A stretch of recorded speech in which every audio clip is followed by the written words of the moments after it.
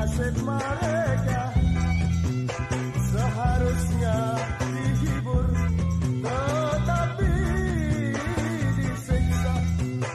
Ya Allah musahkan hamba.